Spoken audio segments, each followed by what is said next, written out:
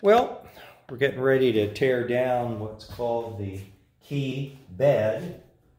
Of course, this is a key and it would sit onto here, so it's kind of like what it sits on. And you can see the uh, this is a pretty ratty condition.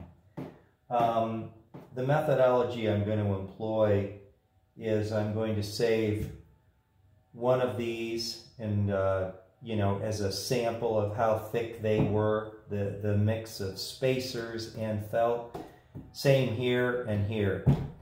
Uh, this one is hard to pull off. I don't know that I'll do that right this second. Then I'll kind of scrape it and sand and uh, vacuum it.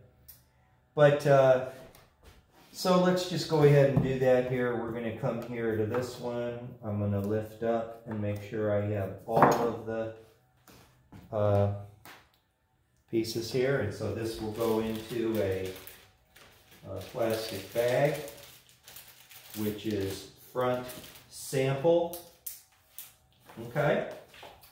Don't be throwing away your old stuff because you may need these spacers if you're short just a hair. So now I'm taking, see these would be for the sharps and flat keys and these would be for the white ones so they're set differently at different tolerances. This is the rear sample, okay? So that's this one. So now we've set aside rear sample. Okay, now we're going to do the same thing for the center pin. Doesn't really matter which one. We'll go here. Center pin sample.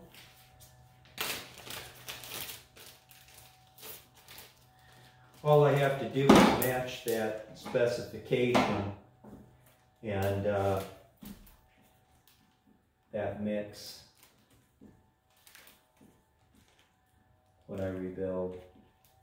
In other words, if my mix of spacers and uh, felt come to uh, this thickness of those guys combined and I'm setting it up the way it was, is a good, it's a good starting place when you refelt.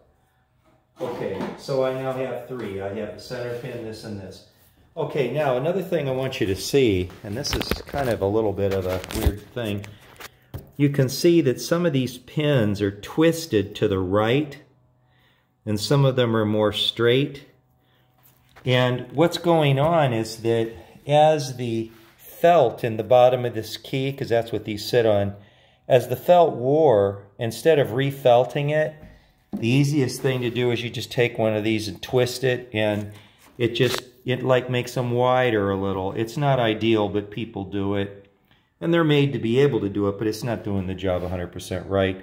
So there's a lot of them here that have twists. I've never seen a, a piano with so many, but you know, the felts are old, and I have different thickness felts to put into the key stick back here. So, you know, I can, I can make it fit correctly when I refelt them. Okay, now the next thing we're going to do is we're going to throw all of the uh, these other felts into a bag and save them. I don't throw anything away. I may need those for something, like I might be short a couple of spacers, you know, like these things down here, these paper spacers, and sometimes you'll run low on a certain size and you may have to get into your old stock to use it. So, uh, you know, do that. Try to be very careful when you're moving these that you don't scrape the pin. So uh, I'm just going to go ahead and just tear all this stuff out and you can uh, see it. I'll just kind of talk to you while I'm doing it. I usually wear a light on my head, this thing. So I've got light exactly where I want it. So I've got here's one, two,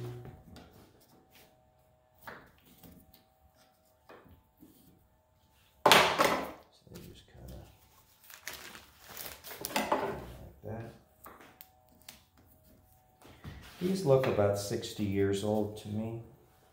I know the piano had been reworked a couple times in its life. I believe one guy signed it one did not. Again, 1883 Steinway. That's one of the older Steinways. But you know, they're built about the same as a modern one, or at least from the 1900s. And I haven't torn apart a brand new one. So I'm really not sure. so I just come in here very gently. Try not to scratch the pin with the little tool here. I can't get them up without getting something under them. So, uh,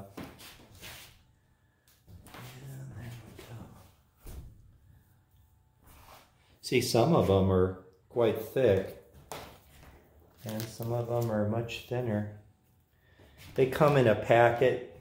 It's a, a kit of spacers and uh, they'll come in different colors, blue and white and pink, and each one's a little different thickness as you go to do your very fine tuning.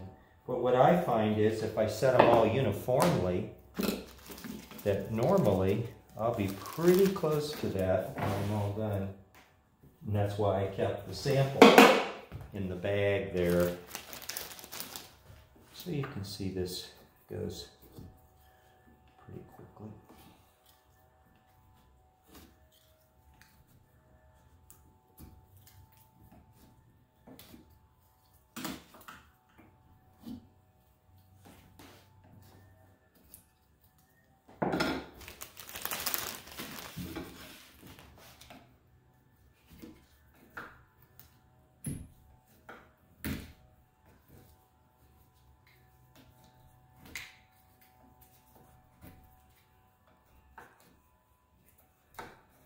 Those pins just twist in the wood. You can put some tape on a wrench and turn them pretty easily. So the turning of them normally doesn't ruin anything. These metal pins, they'll be polished out. I haven't ever seen any that were this corroded either. So the older pianos, you're going to see some rougher condition stuff. Although overall this unit is pretty good. The bed, of course, is just wood. It's probably maple, could be oak. Certainly not pine. Pretty nice stuff.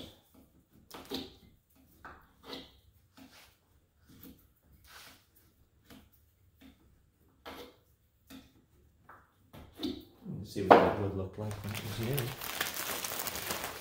Pretty good.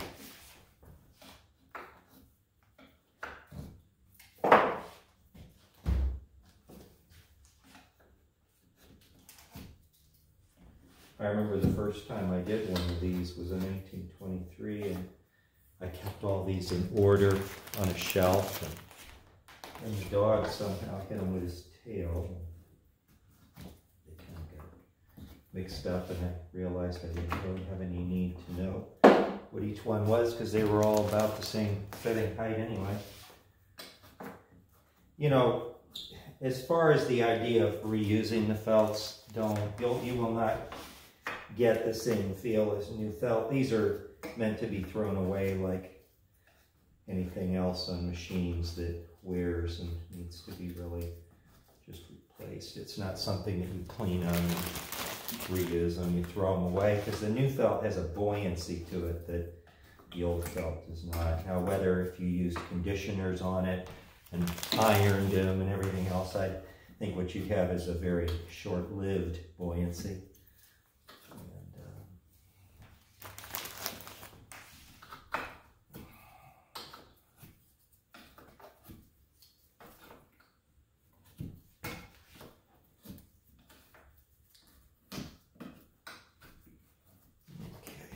So that's that one.